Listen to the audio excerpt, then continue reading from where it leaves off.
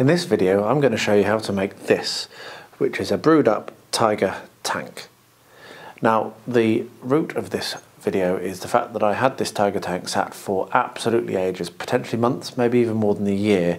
Uh, I did actually have it as part of my April painting challenge and ignored it the whole time, and that's how much I was putting it off. And it kept staring at me and staring at me, and so finally I decided that I was going to do something about it. However, my motivation was so low that I didn't want it to be something I had to stress about making it perfect. So I thought, why not make it a brewed up tank? I have one of these already, which I've done and done nicely. And so this will work really well on the gaming table. Should that tank get blown up, I could pull this one out. So let's go and have a look and see how I did it. And hopefully this will inspire you and maybe you can let me know if it does in the comments below. So here we are, we have the Airfix Tiger tank, which I started a very long time ago and got to this stage I've actually just stuck the wheels on just now very quickly. I got to this stage, uh, I, this is the second one of these I've made and I just basically lost uh, a little bit of uh, interest in it, just stuck to one side. I was supposed to do it ages ago. It was actually part of my April challenge when it was still in this state. So I've decided I'm going to do this as a brewed up tank, as a destroyed tank. So I've taken the, well I always had the um, cupola, whatever, um, the turret uh, as a magnetized turret but I've decided that what I'm going to do is i am going to put this little tea light in which is a flickering tea light. There we are. Flickering tea light. Uh, and I'm going to basically get my Dremel and cut out so I've marked out around the tea light. I'm going to cut that out so that I can drop the tea light in and uh, and then be able to take it out turn it on and off change the batteries and what have you.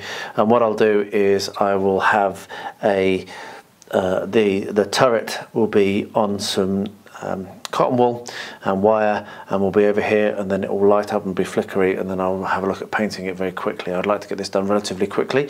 I may or may not put this on a base. I may or may not have the tyres stuck and flapping um, and just have it like this or maybe I'll put it on a base. I'm not sure yet but for now what I'm going to do is I'm going to get the Dremel out and I'm going to cut round that little template there and then make it so that the light can go in.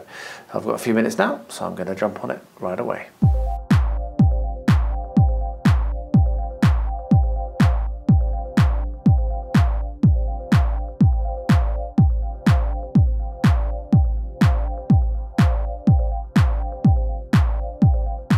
Against all the odds, it looks like that worked. A little bit of sanding and that will fit in okay.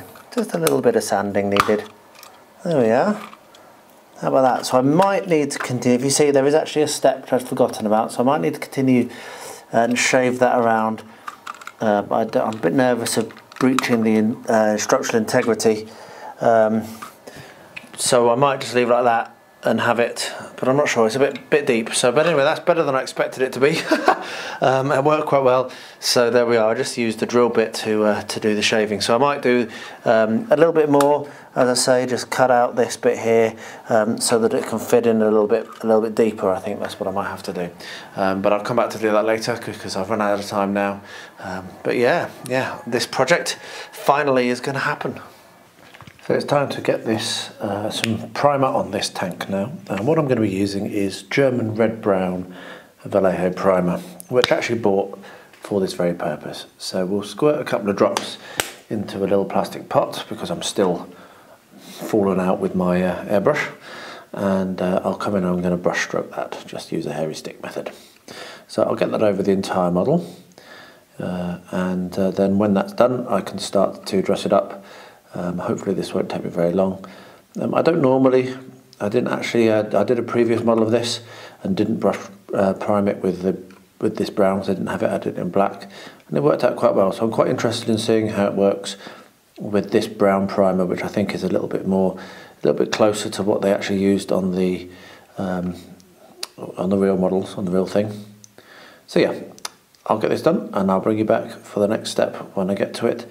May do two coats of, primer, not sure. Let's see how it looks.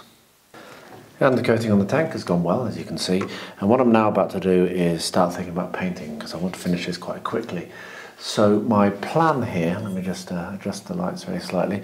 My plan here is to get the um, get some wire and uh, stick the wire to the top of this um, of, of the uh, candle and bend it in such a way that I can eventually mount the um, the top of the turret like that coming out and have an explosion cloud below it.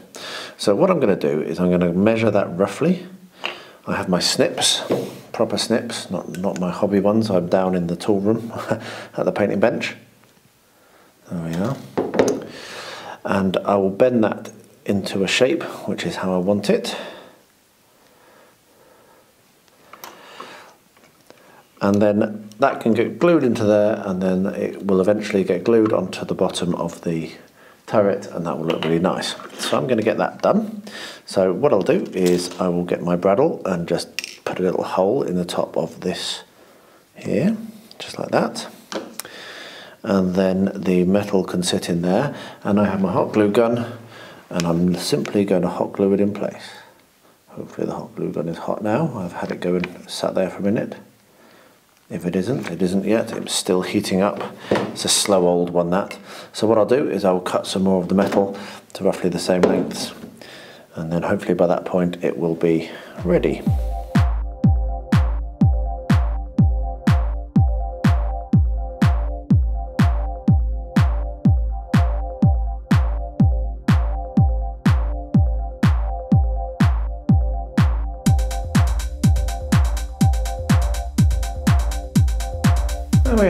That was a bit more of a faff than I expected it to be, but then hot glue is never my most favourite of um, tools. However, it does work quite well.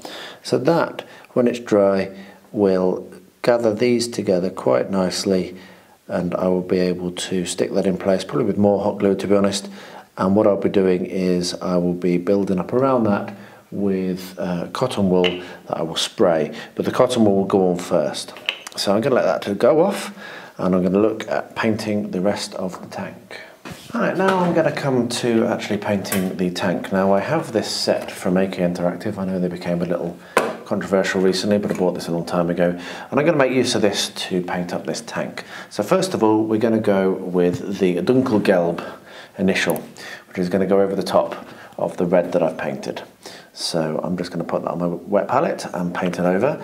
Uh, and um, you can watch or not, but uh, I'll pop some music on um, and uh, get this done. This hopefully will be quite a quick paint job. This is designed to be a blown up tank after all. So let's just uh, pop that all the way over.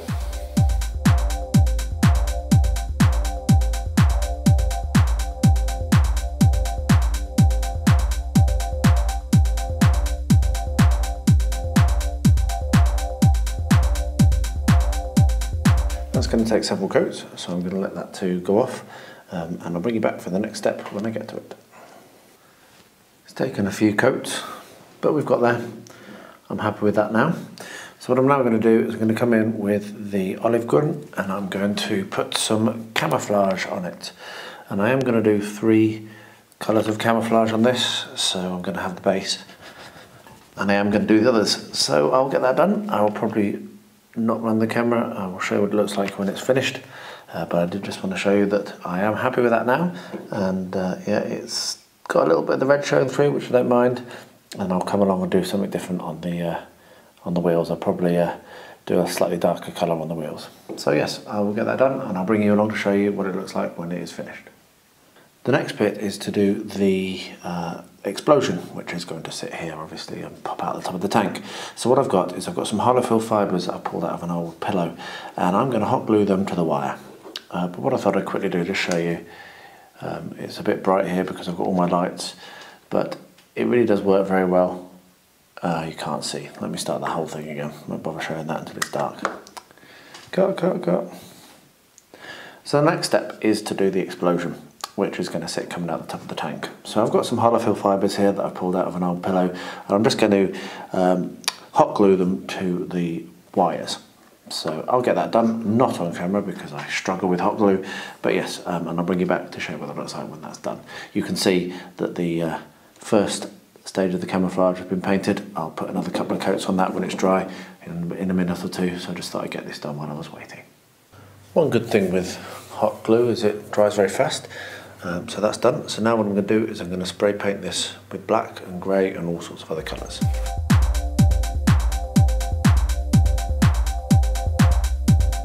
There we are, one explosion marker. So now I'm doing my best to finish this project, the, uh, the brewed up tiger tank.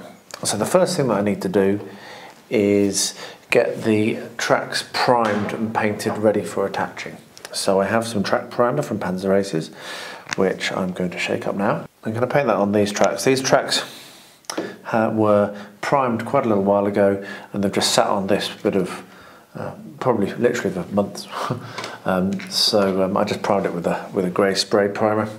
So what we'll do is we'll just get this track primer and paint it on. It should dry quite quickly, and then I'll come along and grind them up. Probably grind them up after they've actually been glued onto the model. So. Um, let's do this quickly. I would really like to get this finished tonight, so we're going to rush on with this project.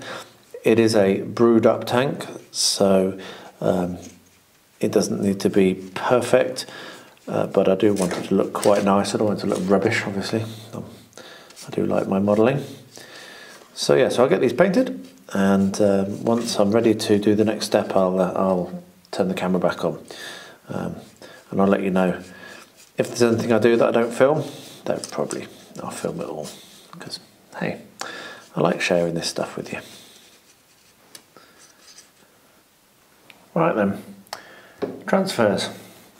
So these came with the kit and I am going to make use of them. I'm doing the Normandy 1944 obviously rather than the North Africa. As you can see I've put the uh, Normandy camouflage style on and so that's going to be these red ones here I believe and these two rather than this.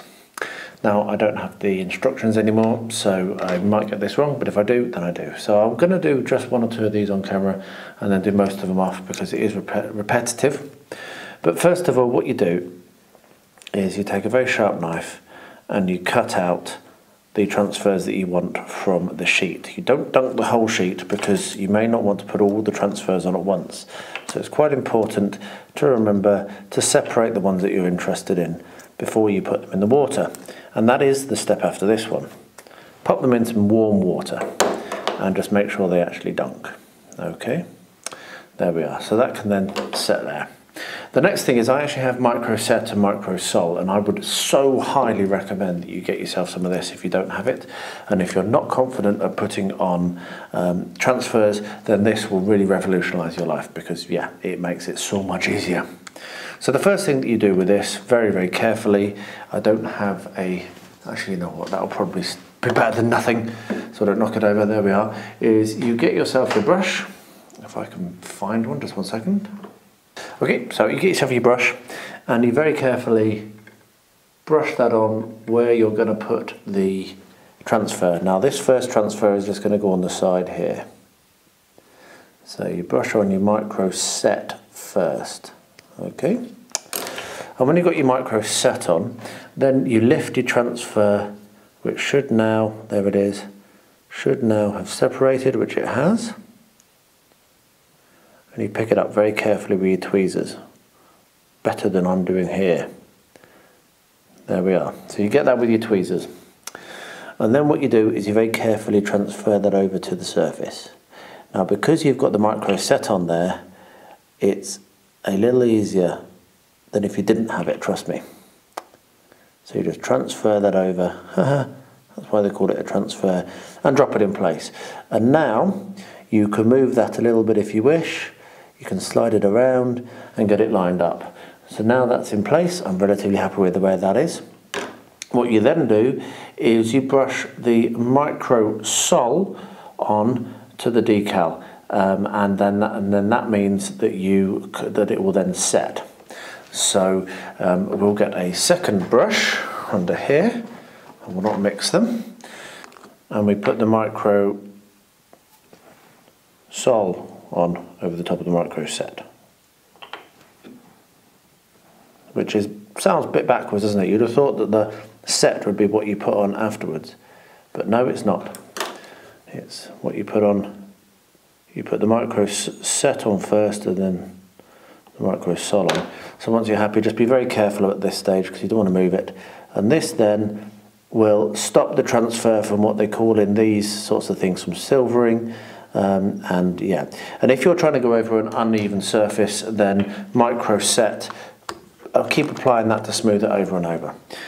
And that's that, simple as that. So I'm going to do that for the rest of these transfers and I'll bring you along to show what it looks like when it's done. We're very, very nearly done on this build now, which is really, really cool.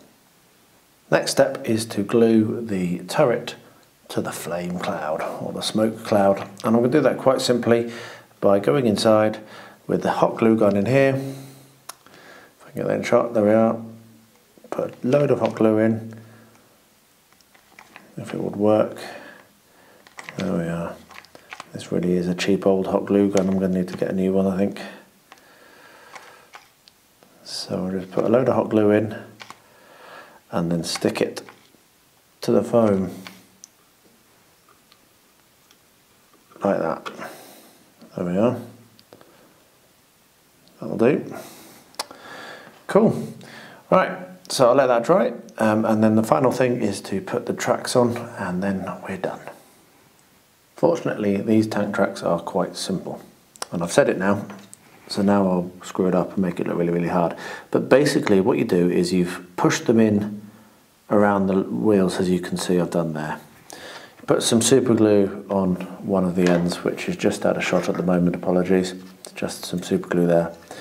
Then you wrap that round, and because I don't really, it's probably going to sit on a base of this anyway, you wrap it round and then join it together like that.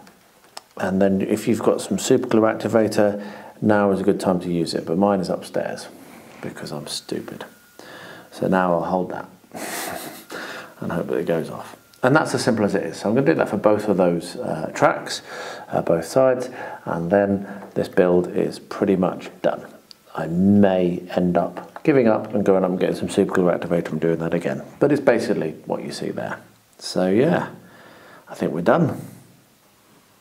And here we have it in the dark, glowing away. It's the best way that I can get uh, to film it, as it's not very visible with the lights on but you can see just how effective that uh, little LED is um, and if I now go and turn the lights on there you are you can still see the flickering but not all that well, but I'm very, very pleased with how that's turned out. That's going to look absolutely brilliant on the table. I have a, another Tiger, which is painted very similarly, but not blown up. So this will be used for chain of command, but it could be used for bolt action or anything else. Um, and uh, I will bring both to the table, and then if my other Tiger gets killed, then I can put this on the table and it'll act as a, as a marker, which is, which is pretty awesome. And that's worked out pretty much how I imagined it. So yeah, there we are. We have a brewed up Tiger tank. Well, there you are. That was a quick end to a project which had sat on my desk for more months, maybe even a year or two, and far longer than I would like to admit. But I'm really pleased with how it's turned out. I wasn't initially going to make a brewed up tank. I have been thinking about doing one for a very long time, which is why I had those LEDs in the first place. Uh, but I just never got around to it and uh, I've got that off my backlog now so it's no longer staring at me every time I look at my in progress and now when I get around to playing Chain of Command I have a brewed up Tiger tank which could be used on the battlefield. So there we are. I hope you've enjoyed that. I hope you've learned something maybe. If you've done something similar, I'd love to hear. Please do pop that in the comments below. It's always love to hear from you guys. Um, and uh, any input, any suggestions are, is very gratefully received. So I'll close off by saying thank you so much for watching and please stay healthy, stay safe and stay well.